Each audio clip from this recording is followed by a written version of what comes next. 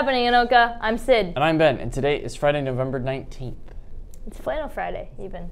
Yep, she, she's, she's made a point of that.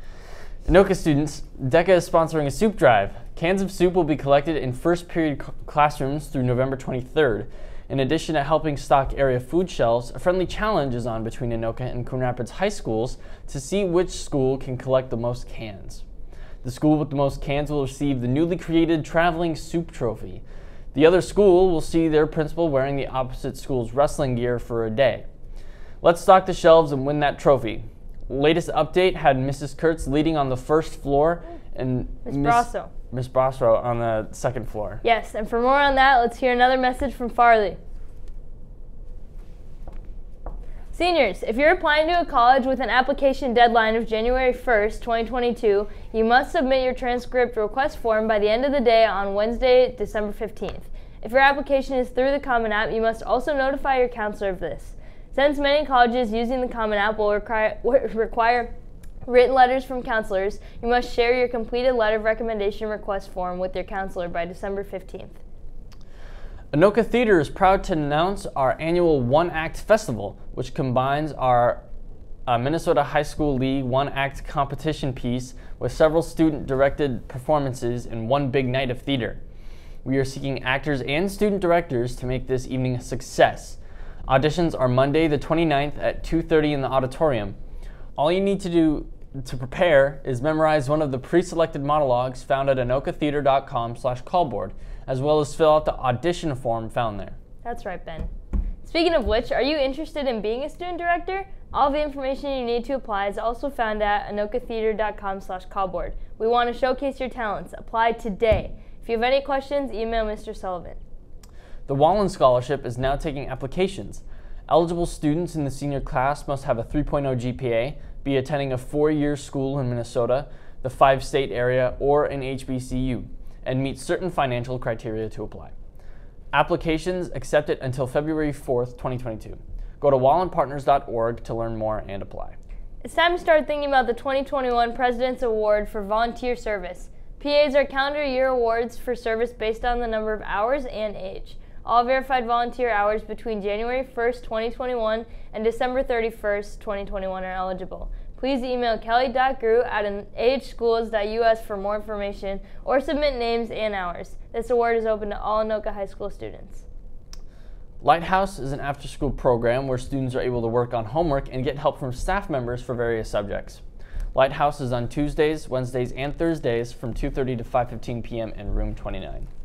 Women in STEAM is a new group that has gained start here at Anoka. Our main goal as a club is to work towards making STEAM more gender inclusive at both school and professional levels.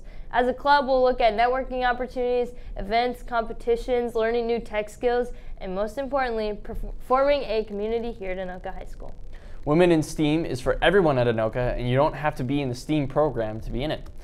Who wants to be better representative of women and other unrepresentative groups in STEAM? As of now, this isn't an official club, so there aren't any official meeting dates yet. However, if you're interested for more information, you can contact either the STEAM coordinator, Miss Jill, or Maddie Slininger. It's time to look at the weather, and for that, let's send it out to the TV7 News Weather Center and everyone's favorite weather girl, Kaylee. Thanks, Ben. Today warms up a little after a couple of bitter days. Today would be partly sunny with the high of 42. Tomorrow looks to be more of the same with more cl- cold wind coming for back for Sunday. That's your cold weather. I'm Kaylee. Now back to in bed. Thanks, Kaylee. The speech team holds a meeting on November 30th after school in room L137. See Coach Anderson or Coach Rachel if you're interested in becoming the next great performer at Anoka. Want to take the time to thank everyone for coming out to the morning cafe today. It was a great success, and hopefully, it's the first of many more. Yes, there's one on this upcoming Tuesday. Oh, November 23rd. So be there. November Tuesday. 23rd. Next you heard it. There's another one. Yes, go. Time to look at sports and activities. And with that, let's send it out to everyone's favorite sports guy, Mr. Anderson.